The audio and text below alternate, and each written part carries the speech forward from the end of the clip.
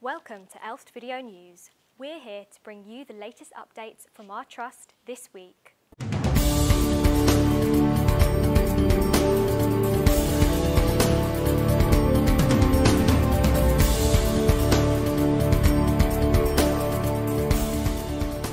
We want to hear from you.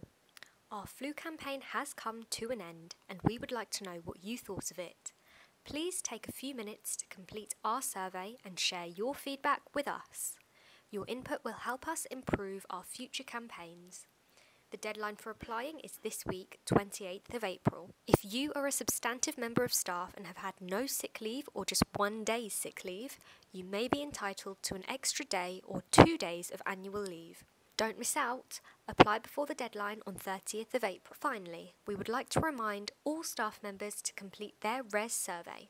The Trust is required to report on the NHS Workforce Race Equality Standard, and your participation is essential. Please outline any non-statutory, mandatory and or CPD training you have undertaken from April 2022 to March 2023.